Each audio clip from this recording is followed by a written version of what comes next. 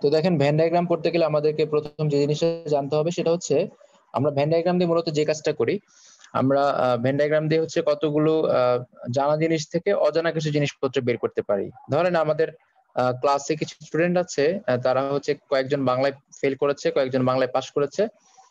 তো এরকম ধরেন কয়েকজন আছে যারা বাংলা ইংলিশ দুইটাতেই পাশ করেছে।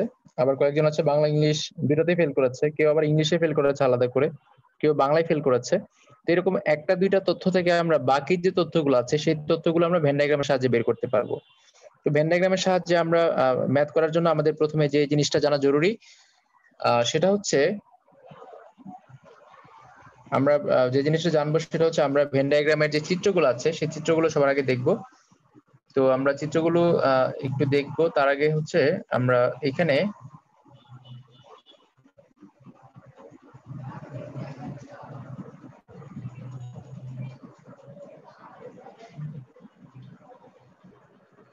তো ভেন ডায়াগ্রামটা ভালো করে বোঝার জন্য আমরা হচ্ছে একটা হোয়াইট বোর্ডের সাহায্য নিচ্ছি। আমরা হোয়াইট বোর্ডে ভেন ডায়াগ্রামটা ওখানে ড্র করি। দেখেন আমরা এই হোয়াইট বোর্ডে কিছু ডায়াগ্রাম ড্র করব।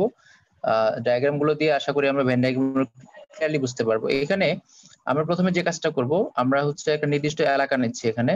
ধরেন আমি একটা নির্দিষ্ট এলাকা নিলাম, এটা হচ্ছে একটা এলাকা। এটার মধ্যে আমরা আরও কয়েকটা পার্টে ভাগ করব। এখানে আমরা এটাকে, এটার মধ্যে আরও কিছু এলাকাতে ভাগ করব।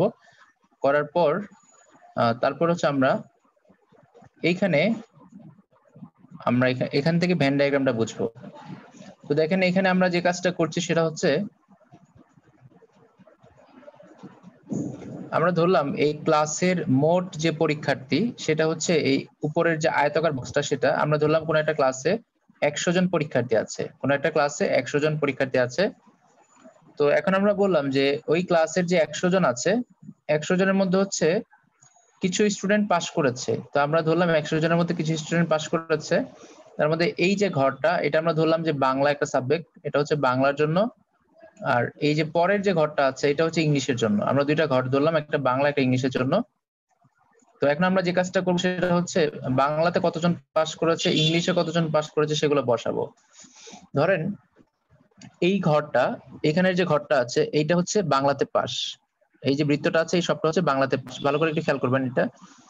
এটা ভালো করে বুঝতে পারলে আমাদের পরের ম্যাথ গুলোতে সমস্যা হবে না। এটা হচ্ছে বাংলাতে পাস, আর পরের যে ঘরটা আছে সেটা হচ্ছে ইংলিশে পাস। এই অংশটা, সেটা হচ্ছে ইংলিশে পাস। এই ঘরটা, সবটা হচ্ছে ইংলিশে পাস। তো এখন দেখেন, মাঝখানের একটা এলাকা আমরা দেখতে পাচ্ছি কমন হয়ে গেছে। এই যে এই যে এলাকাটা, এটা এটা হচ্ছে কমন এটা বাংলা ঘরের মধ্যে আছে, আবার ইংলিশের ঘরের মধ্যে আছে।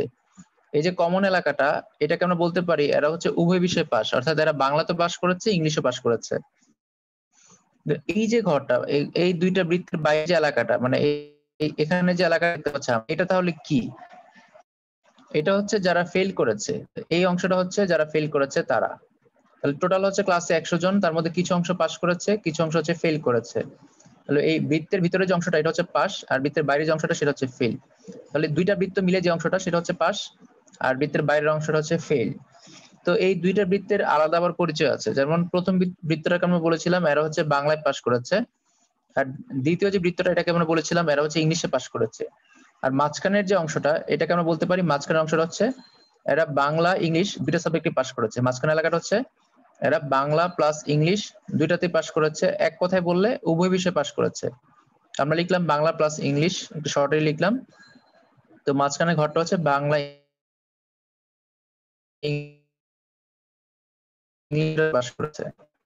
এখন আমরা চাই আপনার যদি এখান থেকে নির্দিষ্ট হচ্ছে ইংলিশে পাস করেছে আর বিষয়ে পাস করেছে, আর আপনার ফেলটা দেওয়া নাই, তাহলে টোটাল থেকে যদি আমরা এই বৃত্তের অংশটা বাদ দিতে পারি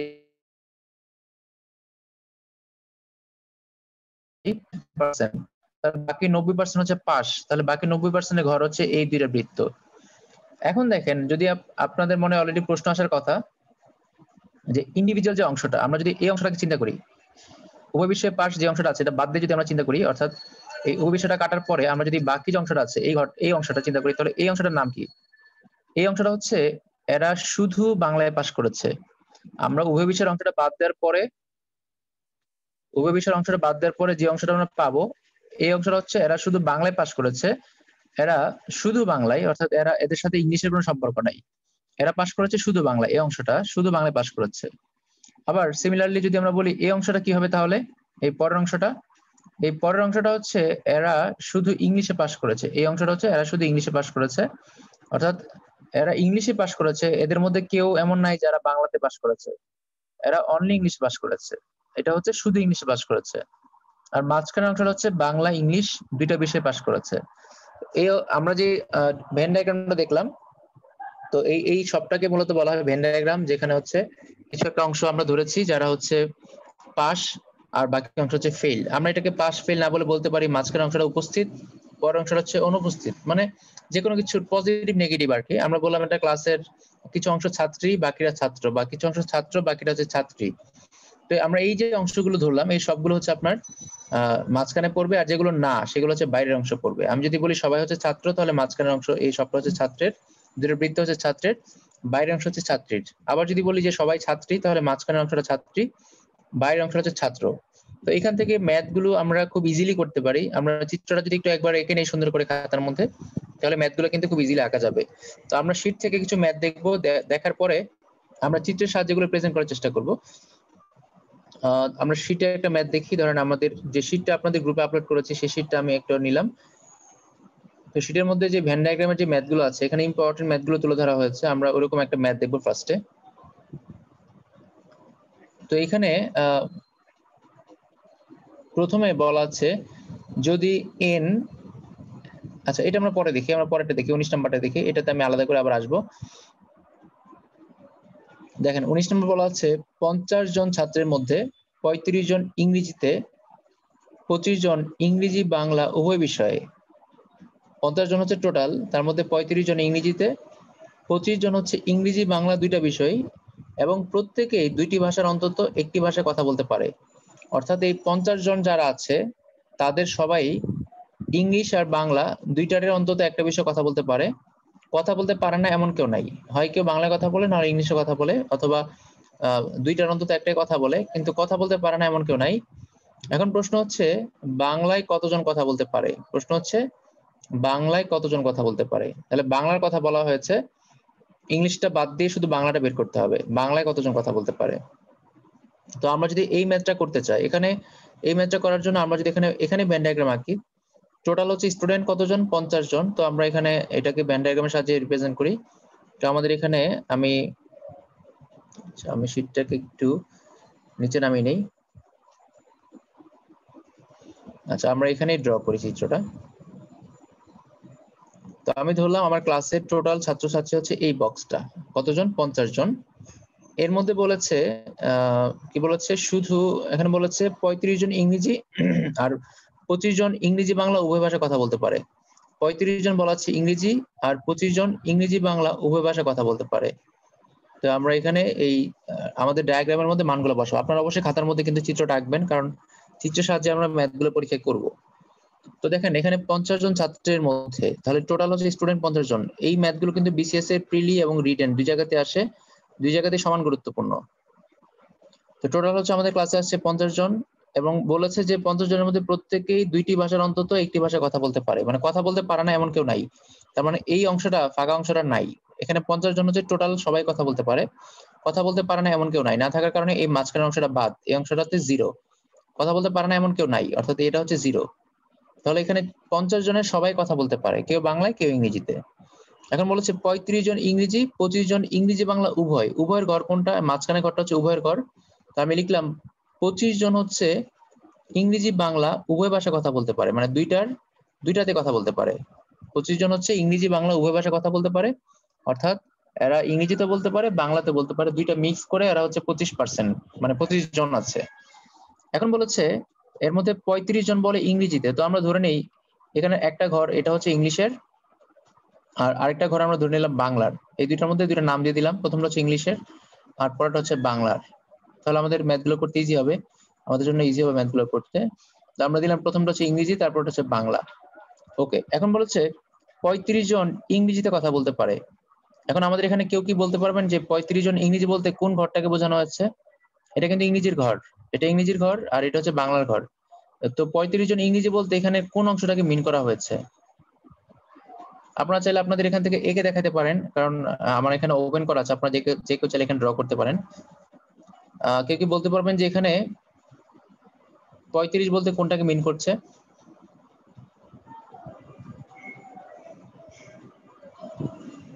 আপনাদের মাইক্রোফোনের সমস্যা হলে মেসেজে লিখতে পারেন।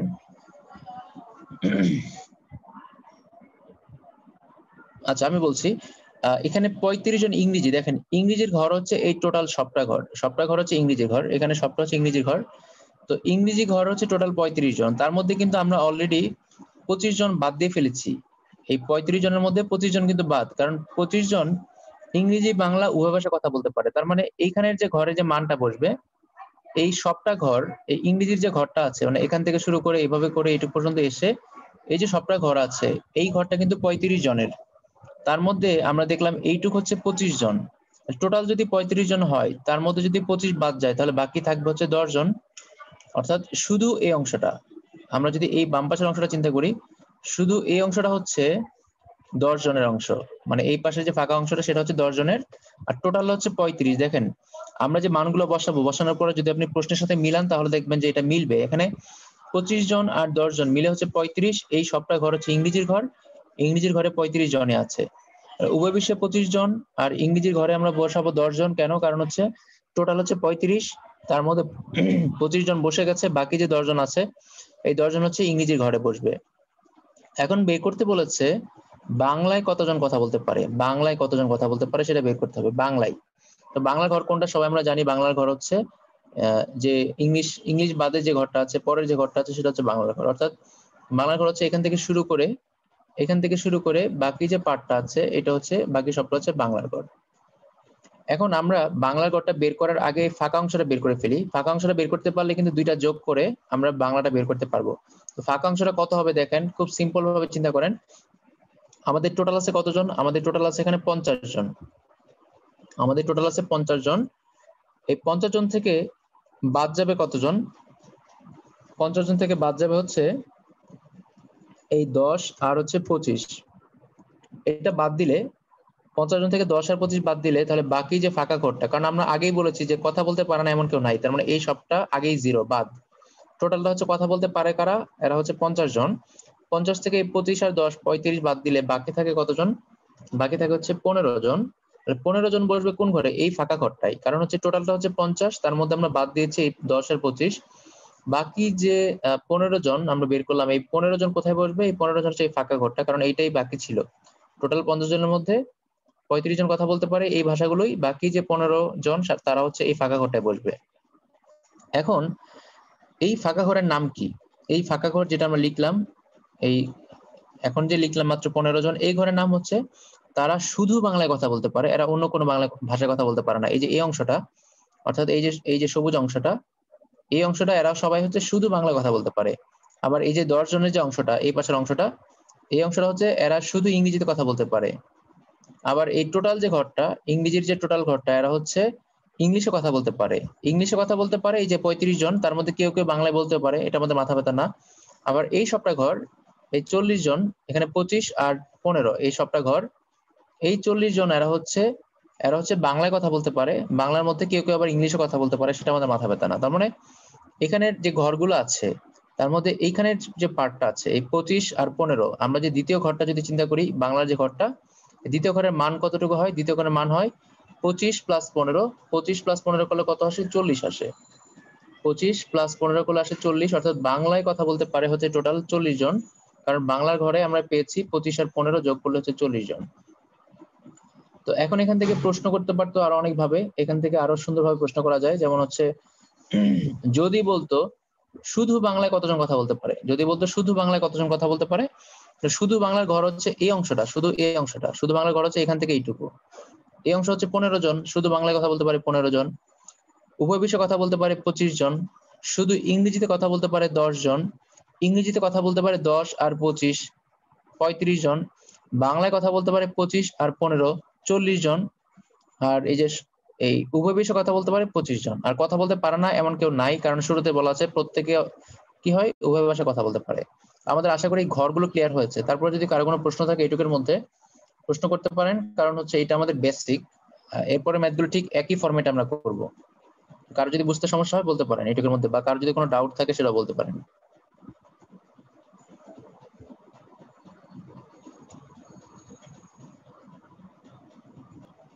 তো আপনাদের যে শতকরার যে ম্যাথগুলো আছে পাটিগণিতে, শতকরার ম্যাথগুলো এগুলো খুব সুন্দর করে ইজিলি এখান থেকে করা যাবে। তো আমরা পরের যে ম্যাথটা আছে, এই ম্যাথটা একটু ভালো করে খেয়াল করি। তো ম্যাথটা আপনারা, এই যে বিশ নাম্বারটা, আপনারা নিজের একটু ট্রাই করতে পারেন ম্যাথটা করার জন্য। আপনারা একটু ট্রাই করতে পারেন। আমি সলভ করার আগে আপনারা একটু দেখেন পারেন কিনা। তো বলা হচ্ছে টোটাল আছে চারশো জন। তো চারশো জন লোকের মধ্যে লোকের একটি দল আছে। টোটাল আছে চারশো জন। তো চারশো জন লোকের একটা দল আছে, তার মধ্যে দুইশো ষাট জন ইংরেজিতে কথা বলে আর একশো আশি জন কথা বলে বাংলায়। তাহলে কতজন উভয় ভাষায় কথা বলতে পারে? এখানে কথা বলতে পারে না, এমন কথা কিন্তু বলা নাই। মানে কোনো ভাষায় কথা বলতে পারে না, এমন কিছু বলা নাই। এমন কিছু বলা না থাকলে তাহলে কিন্তু আমাদের জন্য পজিটিভ বিষয় আমরা ম্যাথগুলো ইজিলি করতে পারব। তো টোটাল হচ্ছে আমাদের এখানে আছে চারশো জন। টোটাল আছে চারশো জন। চারশো জনের মধ্যে হচ্ছে আমরা কি করতে পারি? চারশো জনের মধ্যে দুইশো ষাট জনকে একটা ক্যাটাগরিতে ভাগ করতে পারি। তো আমরা যদি ড্র করি, চারশো জনের মধ্যে দুইশো ষাট জন হচ্ছে, এরা হচ্ছে একটা ক্যাটাগরি আর বাকি যে একশো আশি জন, তারা হচ্ছে আরেকটা ক্যাটাগরির মধ্যে। বাকি একশো আশি জন হচ্ছে আরেকটা ক্যাটাগরির মধ্যে। ওকে আমরা হচ্ছে এখানে নাম দিতে পারি আলাদা করে। তো আমরা লিখলাম বাইরে হচ্ছে টোটাল টোটাল আছে আমাদের এখানে চারশো জন। চারশো জনের মধ্যে দুইশো ষাট জন হচ্ছে ইংরেজিতে কথা বলে আর একশো আশি জন বাংলায় কথা বলে। তাহলে আমরা এখানে লিখলাম হচ্ছে দুইশো ষাট জন ইংরেজি। আমরা কিন্তু এই ঘরে দুইশো ষাট জন লিখতে পারব না। লিখতে পারব না কেন? কারণ আমাদের এই টোটাল ঘরটা হচ্ছে ইংরেজির জন্য। কিন্তু হচ্ছে এখানে যদি বলতো শুধু ইংরেজিতে শুধু ইংরেজিতে বললে তখন আমরা এই ঘরে লিখতে পারতাম। এই ঘরটা হচ্ছে শুধু ইংরেজির ঘর।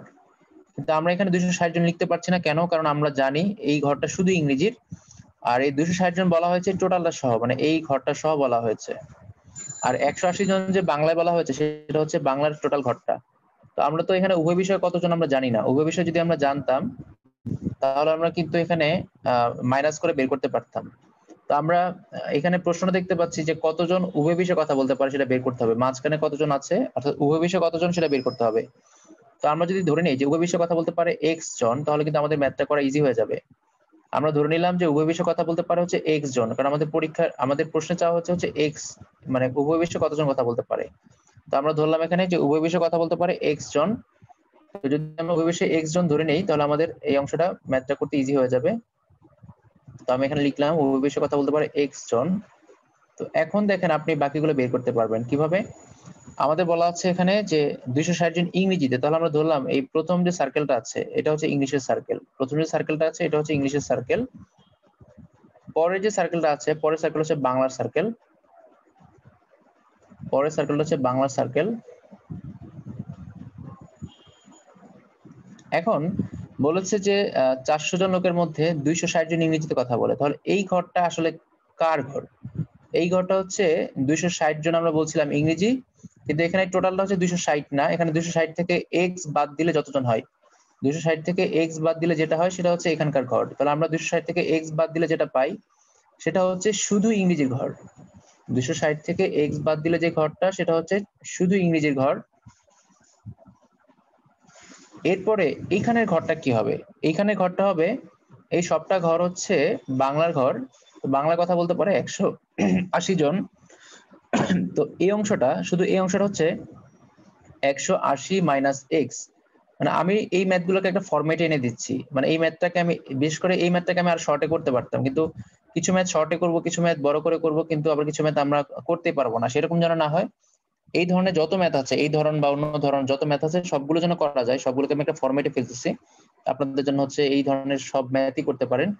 তো দেখেন আমরা কি করেছি, আমরা জানি এখানের যে ঘরটা আছে, এই ঘরটা হচ্ছে শুধু ইংরেজির ঘর, শুধু ইংরেজি। অর্থাৎ উভয় বিষয় যারা আছে সেটা বাদ যাবে, কারণ উভয় বিষয়ের অংশটা হচ্ছে এই অংশটা। তাহলে আমরা দেখলাম উভয় বিষয়ে কথা বলতে পারে এক্স জন, আর ইংরেজিতে কথা বলতে পারে দুইশো ষাট জন। তার মানে ইংরেজির ঘর হচ্ছে এই সবটা সবটা হচ্ছে ইংরেজির ঘর, সবটা ইংরেজির ঘর। তার মধ্যে যদি আমরা এই দুইশো ষাট থেকে উভয় বিষয়ের অংশটা বাদ দিতে পারি, তাহলে পাওয়া যাবে শুধু এই অংশটা। অর্থাৎ এই অংশটা পাওয়া যাবে হচ্ছে দুইশো ষাট মাইনাস এক্স আবার আমরা যদি হচ্ছে বাংলার কথা বলি, তাহলে বাংলার কথা বলে একশো আশি জন, তাহলে একশো আশি থেকে যদি আমরা এই অংশটা বাদ দিতে পারি এক্সের অংশটা বাদ দিতে পারি, তাহলে পাওয়া যাবে বাকি অংশটা। অর্থাৎ শুধু বাংলায় কতজন কথা বলতে পারে? একশো আশি মাইনাস এক্স এখন কথা বলতে পারে না এমন কেউ নাই এখানে, কারণ এমন এমন কারও কথা বলা নাই, অর্থাৎ এরা হচ্ছে জিরো কথা বলতে পারে না এমন কেউ নাই, যারা আছে সবাই কথা বলতে পারে। তো আমরা যদি এটা হচ্ছে ইকুয়েশনের মধ্যে ফেলি, তাহলে আমাদের এই কাজটা খুব ইজি হয়ে যাবে। যদি ইকুয়েশনে ফেলি, তো আমাদের ইকুয়েশনে ফেলতে গেলে কি করা যায় এটাকে? আমরা এটাকে এভাবে লিখতে পারি যে টোটাল হচ্ছে দুইশো ষাট মাইনাস এক্স এটা হচ্ছে আমাদের শুধু ইংরেজিতে, অর্থাৎ প্রথম ঘর। দুইশো ষাট মাইনাস এক্স এটা হচ্ছে আমাদের এই অংশটা।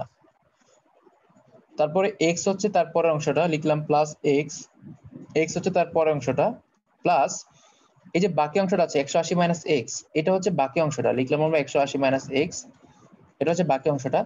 এই সবটা যোগ করলে কত হবে? চারশো জন হবে। অর্থাৎ এখানে যে অংশটা আছে দুইশো ষাট মাইনাস এক্স তারপর মাঝখানে যে অংশটা আছে সেটা হচ্ছে এক্স তারপর ডান পাশে যে অংশটা আছে একশো আশি মাইনাস এক্স এই সবটা মিলালে হচ্ছে এই দুইটা বৃত্ত হয়। আর এই দুইটা বৃত্ত হচ্ছে যারা সবাই কথা বলতে পারে। সবাই কথা বলতে পারে কত? সবাই কথা বলতে পারে হচ্ছে চারশো জন। আমরা যদি এখান থেকে ক্যালকুলেশন করি, তাহলে কিন্তু আমরা মানগুলো পেয়ে যাব। তারপরে এখানে দেখেন যে এক্স এক্স কাটা যেতে কাটা যায়, এখানে দুইটা এক্স কাটা যায়। তো এখানে কত থাকে? দুইশো ষাট আর একশো আশি যদি আমরা যোগ করি, তাহলে আসে মেবি চারশো চল্লিশ। পরলাইন আসে চারশো চল্লিশ মাইনাস এক্স চারশো চল্লিশ মাইনাস এক্স ইকুয়াল হচ্ছে চারশো। পরলাইন করলাম তারপর লাইন যদি আমরা হচ্ছে করি, কি হবে?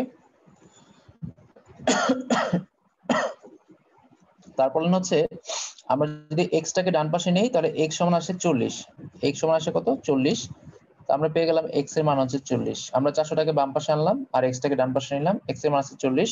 তো আমাদের প্রশ্নে বলেছিল, উভয় বিষয়ে কতজন কথা বলতে পারে? তাহলে এক্সের মান যদি এখানে চল্লিশ বসাই, তাহলে আমরা পেয়ে গেলাম উভয় বিষয়ে চল্লিশ জন কথা বলতে পারে। এখন যদি এখানে আরও কিছু এডিশনাল প্রশ্ন আপনার কাছে চাওয়া হয়তো আপনাকে যদি বলতো, আপনাকে যদি বলতো শুধু ইংরেজিতে কতজন কথা বলতে পারে? আমরা এখানে প্রশ্ন দেখছি, ইংরেজিতে কথা বলতে পারে দুইশো ষাট জন। আমাদের অ্যান্সার কিন্তু বের হয়ে গেছে। আমাদের প্রশ্নে বলা হয়েছিল, উভয় বিষয়ে কতজন? তো উভয় বিষয়ের ঘর হচ্ছে কোনটা? মাঝখানের যে এক্স সেটা হচ্ছে উভয় বিষয়ের ঘর।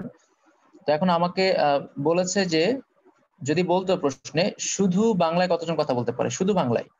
তো শুধু বাংলায় কথা বলতে পারে দুইশো ষাট মাইনাস এক্স দুইশো ষাট থেকে চল্লিশ বাদ দিলে আসবে দুশো বিশ জন। শুধু বাংলায় সরি মানে ইংরেজি ঘর, এটা তো ইংরেজি ঘর। দুশো ষাট মাইনাস চল্লিশ করলে আসে দুশো বিশ জন। এটা হচ্ছে শুধু ইংরেজিতে কথা বলতে পারে। যদি বলতে শুধু বাংলায় কথা বলতে পারে, তাহলে একশো আশি মাইনাস এক্সের মান হচ্ছে চল্লিশ। একশো আশি থেকে চল্লিশ বাদ দিলে একশো চল্লিশ আসে, একশো চল্লিশ হচ্ছে শুধু বাংলায় কথা বলতে পারে। শুধু বাংলা একশো চল্লিশ জন, শুধু ইংরেজিতে দুশো বিশ জন। উভয় বিষয়ে কথা বলতে পারে কতজন? চল্লিশ জন। কথা বলতে পারে না এমন কেউ নাই, সবাই কথা বলতে পারে। এবার আপনি যদি ঘরের যে মানগুলো বের হয়েছে, এটা দুশো বিশ এটা হচ্ছে চল্লিশ, এটা হচ্ছে একশো চল্লিশ, সবগুলো যোগ করলে দেখেন চারশোই আসবে। সবগুলো যোগ করলে চারশোই আসবে। এখন আমি যেটা বলছিলাম যে, এই যে ম্যাথটা এখন যে ম্যাথটার কথা বললাম, এটা তো আপনার এগুলো মুখোমুখি করা যায়।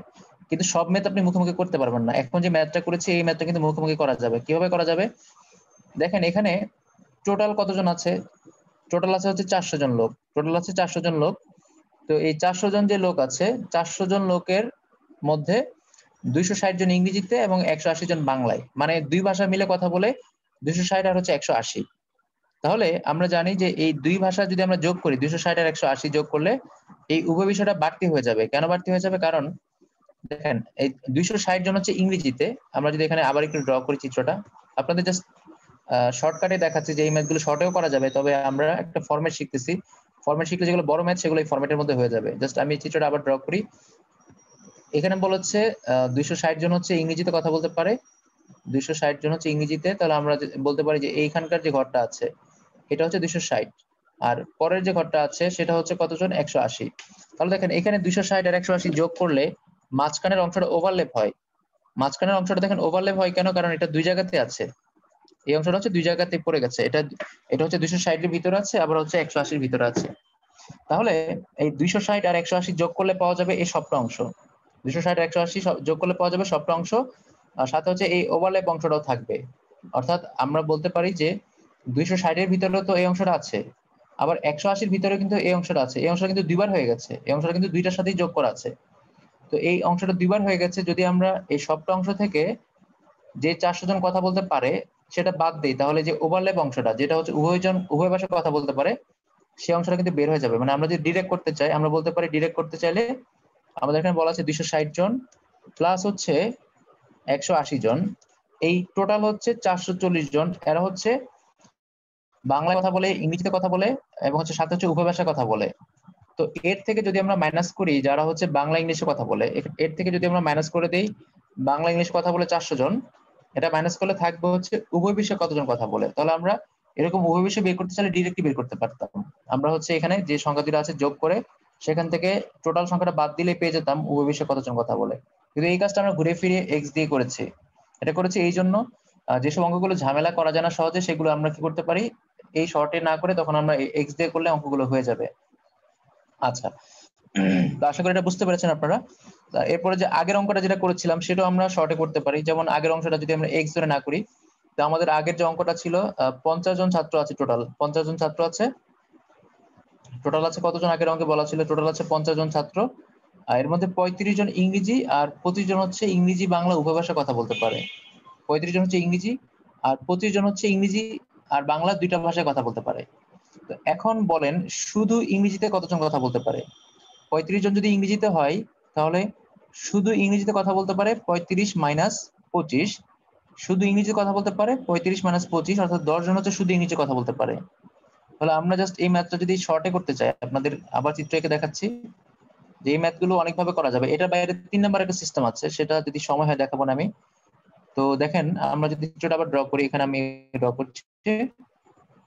টোটাল ছিল আমাদের পঞ্চাশ জন। তার মধ্যে আছে আছে হচ্ছে পঁয়ত্রিশ জন ইংরেজি। পঁয়ত্রিশ জন ছিল ইংরেজি। আর হচ্ছে পঁচিশ জন ইংরেজি, বাংলা উভয় ভাষা কথা বলে। তো আমরা যদি এখানে মানগুলা বসাই, যদি মুখোমুখি করতে চাই তো মুখোমুখি করতে চাইলে আমরা করতে পারব। এখানে বলা আছে পঁচিশ জন ইংরেজি বাংলা উভয়, তাহলে আমি লিখলাম এখানে হচ্ছে পঁচিশ পঁচিশ।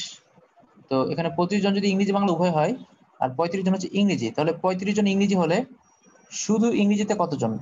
শুধু ইংরেজিতে হচ্ছে এই পঁয়ত্রিশ মাইনাস পঁচিশ, অর্থাৎ দশ জন হচ্ছে শুধু ইংরেজি। তাহলে দেখেন এখানে কত আসতেছে? এখানে আসতেছে হচ্ছে পঁয়ত্রিশ, পঁচিশ আর দশ, পঁয়ত্রিশ, তাহলে আমাদের টোটাল ছিল পঞ্চাশ জন। পঞ্চাশ জন থেকে যদি আমরা পঁয়ত্রিশ বাদ দিই থাকবে হচ্ছে পনেরো জন। তাহলে বাংলা কথা বলতে পারা হচ্ছে পঁচিশ আর পনেরো যোগ করলে চল্লিশ, যেটা আমরা করলাম একটু আগে। তো এখানে পঁচিশ আর পনেরো হচ্ছে চল্লিশ। এগুলো আমরা এইভাবে শর্টে জাস্ট মুখে মুখে করে ফেলব আর কি। কিন্তু সমস্যা হচ্ছে যেগুলোতে বলা থাকবে যে কিছু কিছু স্টুডেন্ট ফেল করে, এখানে তো সবাই পাস করেছে বা সবাই উপস্থিত আছে। যেমন এখানে বলেছিল সবাই কথা বলতে পারে, না এর কথা বলা নাই, সব হ্যাঁ। অর্থাৎ এখানে আমাদের যে ঘরটা আছে, এই সবটা ঘর জুড়েই হচ্ছে আমাদের স্টুডেন্ট দখল করে নিয়েছে। কথা বলতে পারে না এমন কেউ নাই। যেমন এখানে বলেছিল যে প্রত্যেকে দুইটি ভাষা কথা বলতে পারে। আবার এখানে বলা আছে যে, এখানে ইংরেজিতে কথা বলতে পারে, বাংলায় কথা বলতে পারে। কথা বলতে পারে না এমন কোনো কথা এখানে উল্লেখ করা নাই। যদি কথা বলতে পারে না এমন কথা উল্লেখ থাকে, সেক্ষেত্রে হচ্ছে আমাদের এতে একটু সমস্যা হয়। তখন আমাদের একটি ভিন্ন নিয়ম অ্যাপ্লাই করতে হয়। যেমন আমরা এক্স জোরে করেছি, তখন এক্স জোরে করতে হয়। না হলে এই ম্যাথগুলো মুখোমুখি করা যায়। এখন আমরা যে ম্যাথ করলাম, এটা তৃতীয় নিয়মটা একটু দেখে নিই। তো তৃতীয় নিয়মটা হচ্ছে ফর্মুলা দিয়ে করা যেতে পারে। আমরা যদি হচ্ছে ভ্যান ডায়াগ্রাম করার জন্য যে ফর্মুলাটা আছে, সেটা দিয়ে যদি করি, তাহলে হবে তো ভ্যান করার জন্য যে ফর্মুলা সেটা হচ্ছে N N A union B সবাই একটু ভালো করে ফর্মুলাটা লিখে নেন। এন এ ইউনিয়ন বি হচ্ছে এন এ ইউনিয়ন বি সমান হচ্ছে N A N A plus N B N A plus N B N A plus N B minus minus হচ্ছে N A intersection B A intersection B intersection চিহ্নটা এখানে দেওয়া যাচ্ছে না মানে উল্টা ইউজ এটা আর কি, এখানে ইন্টারসেকশন চিহ্নটা আমার মাথায় আসতেছে না, কীভাবে দিব? কারণ হচ্ছে কিবোর্ডে উল্টা ইউজ তো নাই। তো আমি এখানে এখানে মাঝখানে একটু এঁকে দেই। ঠিক আছে? মাঝখানে আমি একটু কলম দিয়ে এঁকে দেই।